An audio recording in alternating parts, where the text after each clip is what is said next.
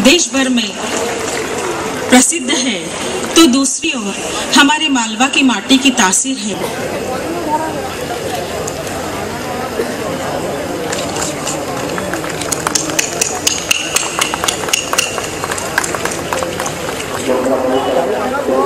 नए पकवान खिलाना और उसके स्वाद से प्रभु पुरस्कृत करना जत्रा की परंपरा रही है। प्रतिदिन तीन पुरस्कार दिए जाते हैं। जोरदार तालियां बजाना चाहिए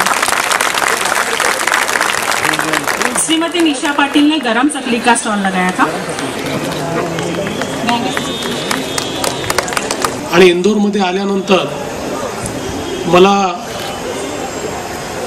असं कधीच वाटत नाही की मी महाराष्ट्राच्या बाहेर आलो आहे या ठिकाणच्या मराठी भाषी लोकांना भेटल्यानंतर खरं म्हणजे इंदोरमध्ये आल्यानंतर इथल्या पोह्यांचा स्वादच वेगळा आहे. आणि पोहा जिलेबी खाल्ल्याशिवाय ते चैनही पडत नाही. आणि तसं इंदोरमध्ये आल्यानंतर मी कोणाला भेटलो किंवा नाही भेटलो पण सराफा आणि छप्पन भोगला नक्कीच जातो.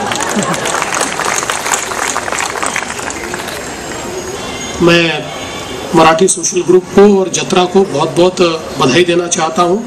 एकत्रीकरण भी यहाँ होता है। साथ ही में हमारी जो संस्कृति है, महाराष्ट्र की संस्कृति, उसको जीवित रखने का, उसको प्रदर्शित करने का एक कार्य भी यहाँ होता है।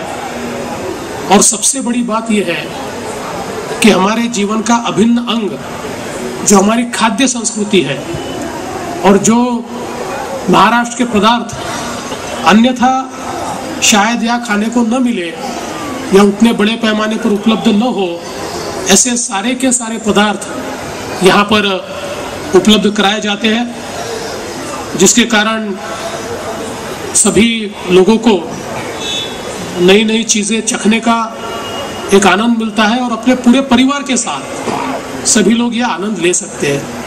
मैं देवेंद्र का यहाँ पर स्वागत भी करती हूँ।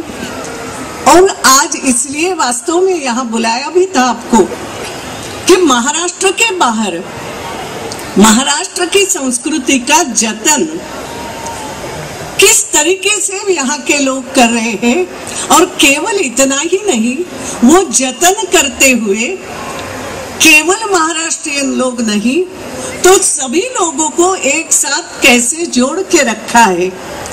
ये एक चित्र जत्रा में अगर हम आते हैं तो जत्रा में देखने के लिए मिलता है। स्वाद प्रेमी वाले भी जनता करना चाहूँगी। जितना में खा रही हूँ मतलब आप भी हैं अपन भी यही लगा हुआ भैया एक तो अपन इंदौरी ऐसे ही भूख और ऊपर से यहाँ खाने का एक से एक आइटम भी है झन्नाट आइटम